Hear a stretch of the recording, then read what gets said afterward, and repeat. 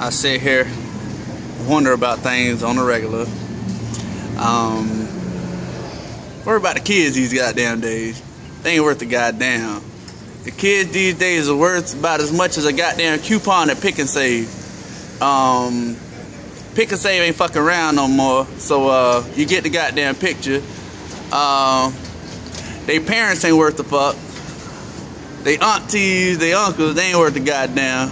Cause uh, they following the wrong goddamn shit right now. Coming up asking the wrong motherfucking question.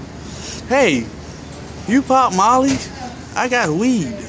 Um, young man, go get in a fucking book and um, leave me the fuck alone.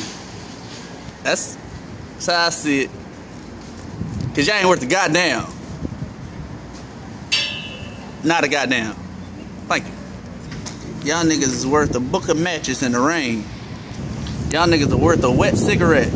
Y'all niggas are worth a dog without no teeth. Y'all niggas are worth a sandwich with no bread. It's just a salad. Y'all are worth the time of me going to get a box for a motherfucker and they don't want it. Motherfuckers is worth coffee, no filter. Y'all motherfuckers is worth a beach with no sand. Thank you for shopping at Family Dollar.